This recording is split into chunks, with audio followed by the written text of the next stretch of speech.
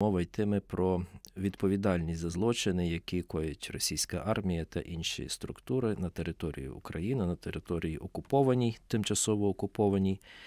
І всі ці злочини фіксуються. Ми запросили на цю розмову виконавчого директора Української гельсінської спілки справ людини Олександра Павліченка. Пане Олександре, наші вітання. Е, вітання всім слухачам громадського. І ось е, хочу щоб ви дали спочатку е, коментар щодо таких слів. Президент Євроюсту Владислав Хамран нещодавно у своєму коментарі для Радіо Свобода повідомив, що у розпорядженні міжнародного центру з переслідування за злочини. Агресії проти України, який діє на базі Євроюсту, є тисячі доказів таких злочинів, і вони передаються з різних країн. Скажіть, будь ласка, з яких країн надходять ці докази, крім України? Хто їх ще може надсилати?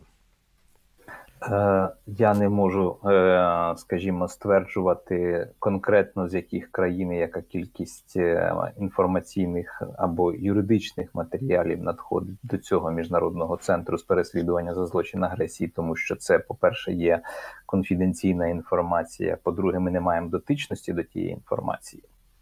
І е, виходячи з логіки створення цього міжнародного центру, який розпочав свою роботу з липня місяця, і є таким е, майданчиком для підготовки роботи е, спеціального трибуналу з питань агресії, і те, що було заявлено безпосередньо всіма е, організаторами цього процесу, серед яких є безпосередньо і Євроюст, е, як один із таких локомотивів. Йшлося про те, що е, накопичення цієї інформації в різних юрисдикціях, е, де перебувають, е, наприклад, ті ж самі Е, переселенці, переміщені особи, які виїхали з України, і які володіють інформацією про е, вчинення різного типу злочинів, зокрема і злочинів, які можуть бути кваліфіковані як злочин агресії. Ця інформація має бути належним чином задокументована. От, наприклад, в Польщі відбувається такий процес документації, в Німеччині відбувається такий процес документації, в Сполученому Королівстві Великобританія. в е, інших державах е, відбуваються ці процеси, і вони мають, по-перше, відбуватися за е, одними тим самим методологічними стандартами збору оформленню документів, хоч вони робляться, скажімо, в е, різних юрисдикціях, де е, існують різні вимоги до е, проведення тих же самих і кримінальних процесуальних дій, і розслідування, але відповідно. Оцей міжнародний стандарт доведення, який визначається знов таки на рівні міжнародного кримінального суду, він вимагає ну зокрема доведення поза розумним сумнівом е, всіх фактів, і відповідно е, належне їх документальне оформлення. І от оці всі процеси, про які от ми з вами сказали, тільки що які відбуваються в різних юрисдикціях, вони повинні бути. Нагадаю, що тут йдеться також про е, роботу цих Joint Investigation Teams, так званих спільних слідчих груп або спільних груп з розслідування злочинів, які Е, створені зокрема на території е, Литви, Латвії, Естонії, е, Польщі, України і Румунії, здається, і вони спільно працюють так само над збором доказів з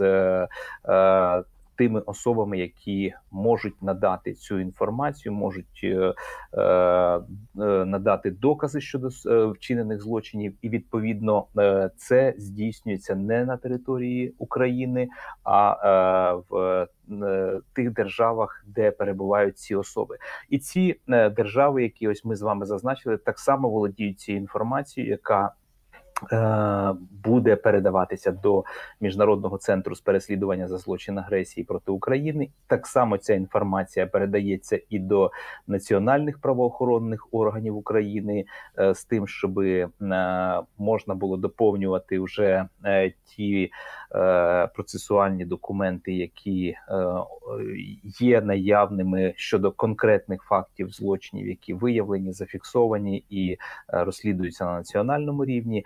І власне тут ми бачимо те, що відбувається поєднання інформації, зусиль і е, вироблення спільної методології розслідування і е, е, застосування одних стандартів з розслідування цих злочинів для того, щоб е, відповідно була підготовлена база для роботи цього міжнародного спеціального трибуналу з питань агресії Росії проти України.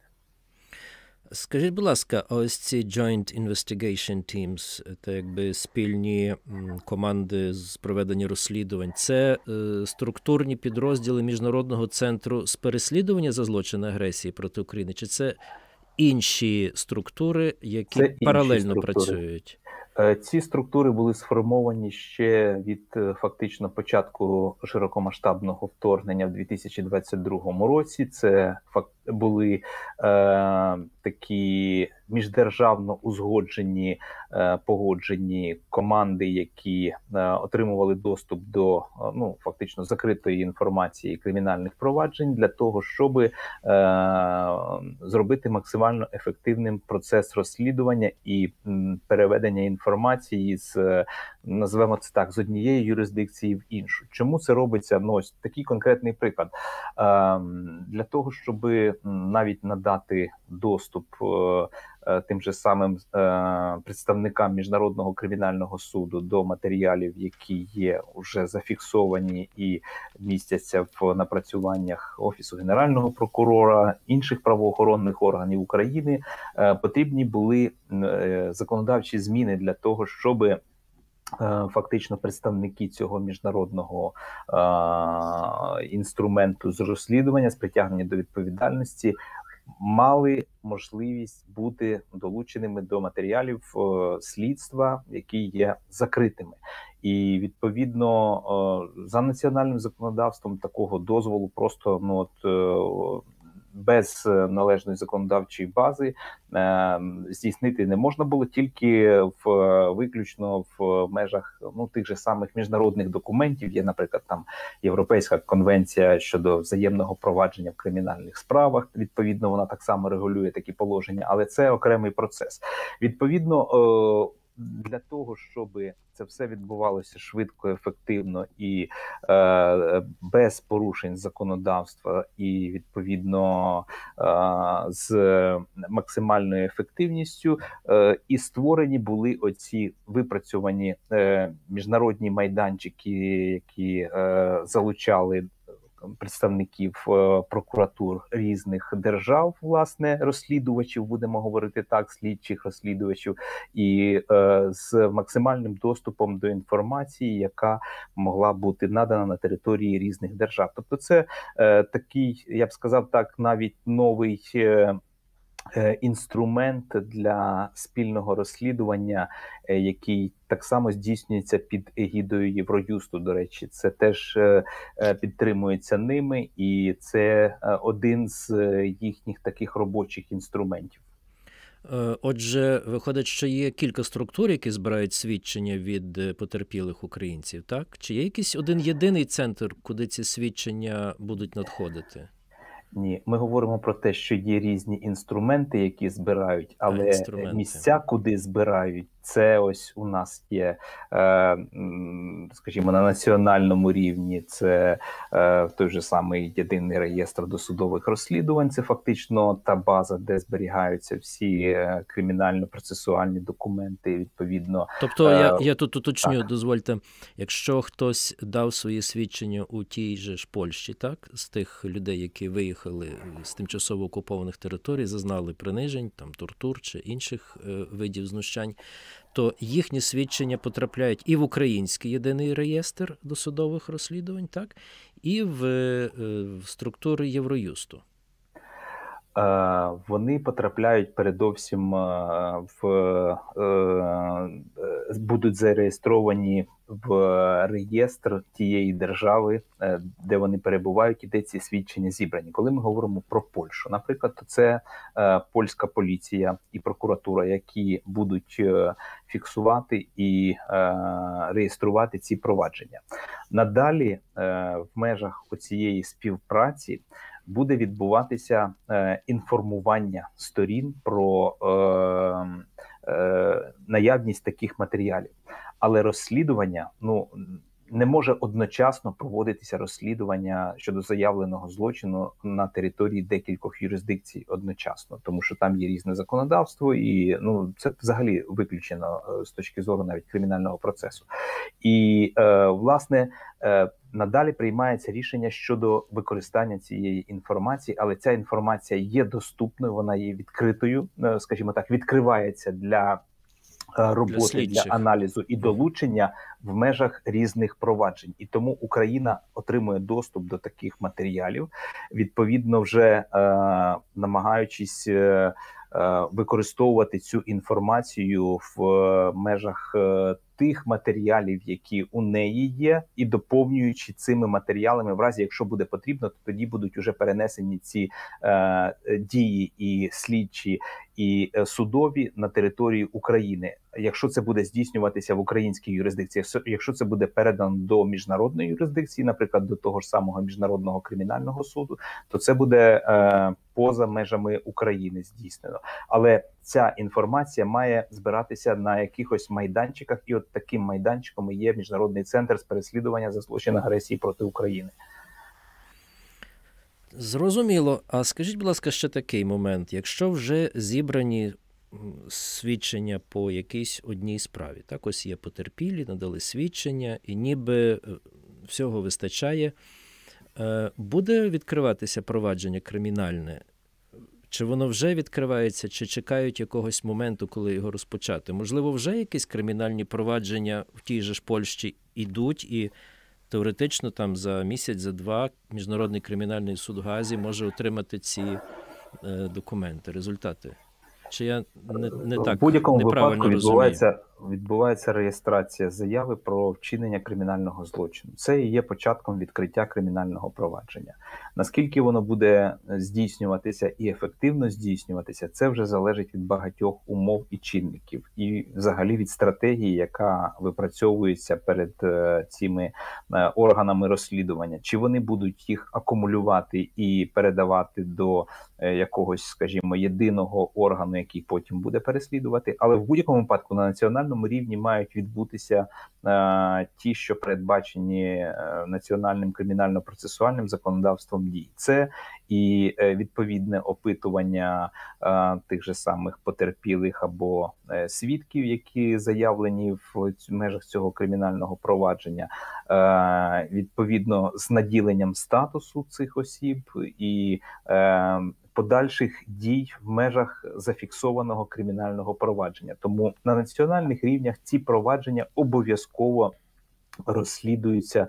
Відповідно до національного законодавства, але вони розслідуються якраз з прицілом на те, що це не виключно буде ця одна юрисдикція національна, це буде польська, литовська чи молдовська, а це е, має бути Е, з долученням і інших юрисдикцій, передовсім української, е, яка буде поінформована про е, такі конкретні факти, випадки, і відповідно можливість долучити в. Якщо йдеться про якісь магістральні справи до цих справ до конкретних на на національному українському рівні до розслідування, і як на мене, це е, теж такий досить унікальний процес, якого не спостерігалось раніше щодо е, поєднання зусиль е, національних правоохоронних систем е, низки держав. Передовсім це держави, які належать до Європейського союзу, але е, Україна так само входить в цю систему як активний суб'єкт, гравець і.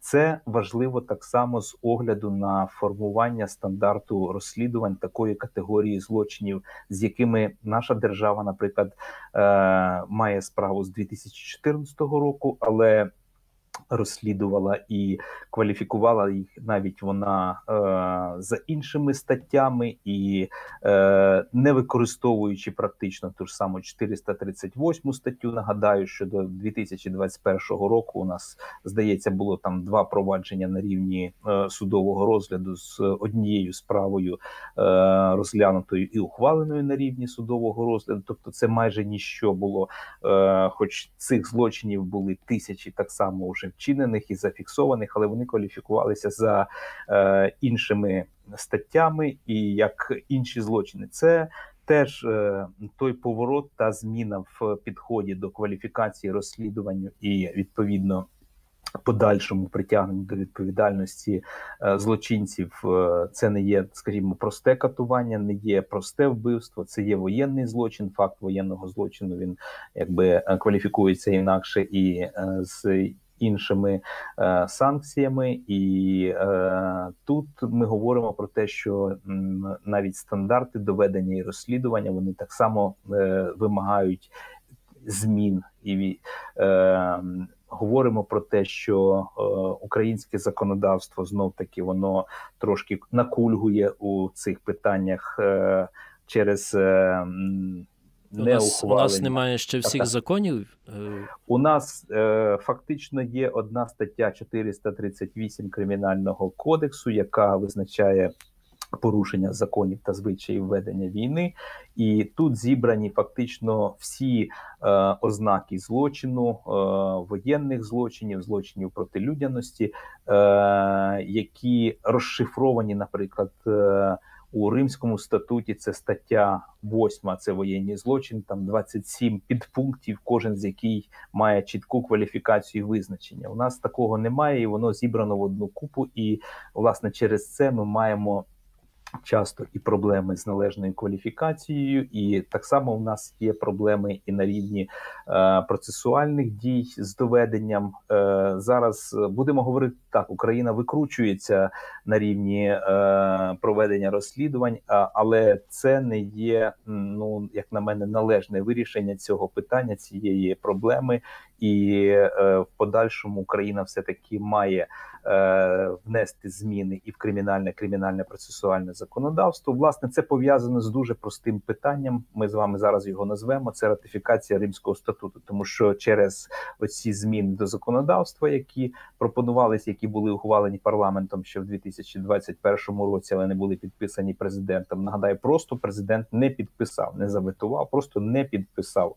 закон, ухвалений парламентом. Це порушення конституції, до речі, е, і е, ми маємо таку ситуацію, ухвалений парламентом закон, який не підписаний президентом е, через. Е, Побоювання, що це частково імплементує статті Римського статуту, не ратифікація Римського статуту як такого, це теж проблема, яку треба постійно е, артикулювати і говорити. Що ми говоримо от зараз про цей міжнародний центр з переслідування за злочин агресії проти України, але без ратифікації Римського статуту Україна не зможе взагалі е, рухатися по цьому напрямку, і е, міжнародна підтримка наша буде просто нівелюватися і втрачатися з боку партнерів, які не розуміють, як так можна, е, не визнаючи е, цих засад Римського статуту на е, в тому, щоб ратифікувати цей документ, вимагати, щоб інша сторона була притягнута до відповідальності саме на засадах от Римського статуту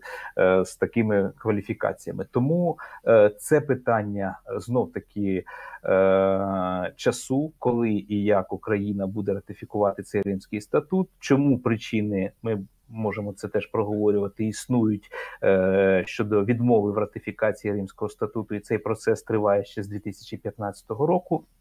Коли е, Україна переносила там частково, вказуючи, що Конституція забороняє, потім е, що якісь інші причини були. Е, але саме основне це навіть протидія, навіть не відсутність політичної волі, а політична протидія ратифікації Римському статуту. І от одни, одним із таких факторів такої протидії є і відмова підписувати цей законопроект, який закон фактично проголосований парламентом, який імплементував положення частини Римського статуту в е, кримінально-кримінальне процесуальне законодавство.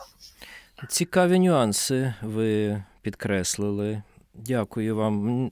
Мені здається, треба більше, щоб наше суспільство знало про ці всі ратифікації, чому не ратифікований досі Римський статут, чому не внесені зміни до Кримінального кодексу України, е, не розширені е, згідно того, як вимагає Римський статут, детальніше описати, що таке воєнні злочини. Дякую вам за ці пояснення, пане Олександре. До наступних зустрічей і тихого і спокійного вам дня. Безпеки всім слухачам. І безпеки. І так. вам. Дякую. Виконавчий директор Української гельсінської спілки з прав людини Олександр Павлюченко був на прямому зв'язку з громадським радіо.